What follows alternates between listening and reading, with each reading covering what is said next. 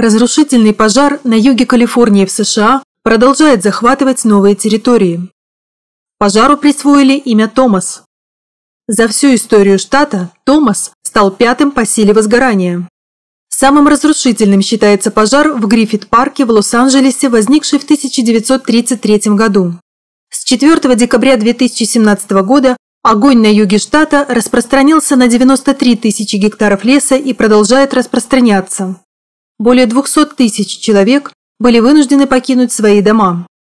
Напомним, что штат также пострадал от сильных пожаров в сентябре и октябре 2017 года.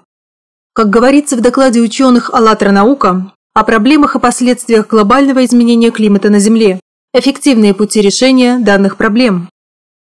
В условиях глобальных катаклизмов люди останутся со своими проблемами один на один, и надеяться им будет не на кого. Уже сегодня надо готовиться к часу X.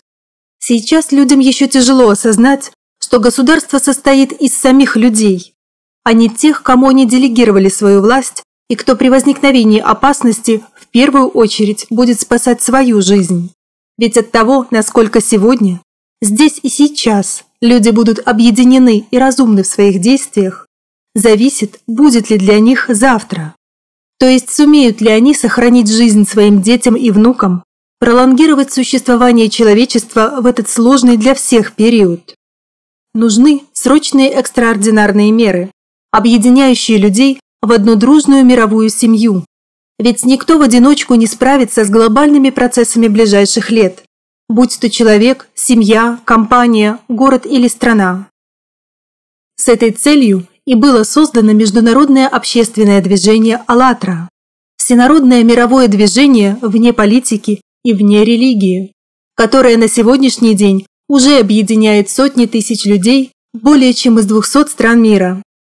Вся его деятельность направлена на дружбу и объединение людей из разных стран через совместные проекты, взаимопомощь, консолидацию усилий в созидательных делах.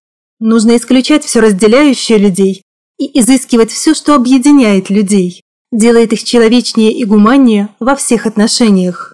Только не люди могут противостоять такому всеобщему, реально всенародному объединению и сплоченной дружбе между народами мира. Дорогие зрители, если вы хотите иметь постоянно свежую и объективную информацию, ставьте лайк и подписывайтесь на наш канал, пишите комментарии, и мы будем освещать интересующие вас изменения климата.